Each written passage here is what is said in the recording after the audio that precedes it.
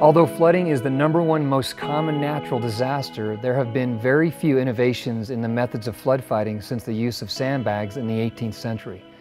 Muscle-Wall is a flood fighting product that replaces the need for thousands of sandbags. Sandbags are extremely labor, time, and cost intensive.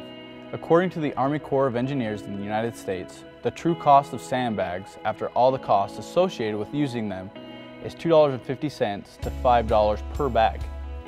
With one 4-foot muscle wall replacing 468 sandbags, one wall would equate to be anywhere from a half to a quarter of the price of sandbags. When it comes to flood protection, the best asset is time.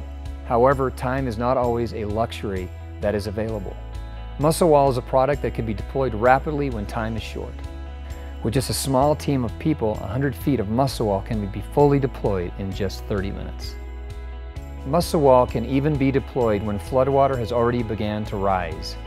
Each wall can be floated into place and sunk using the same water that the wall is protecting against. One of the biggest unaccounted for expenses when it comes to flood damages is the loss of business continuity. Businesses must remain shut down while repairs are made or flood protection methods such as sandbags are cleaned up and removed. Muscle Wall, in one instance, was used to protect a three-story office building from floodwater, and as a result, the office was able to be back up and running the very next day. Other buildings in the vicinity were out of commission from anywhere from a month to three months, costing the business owners thousands of dollars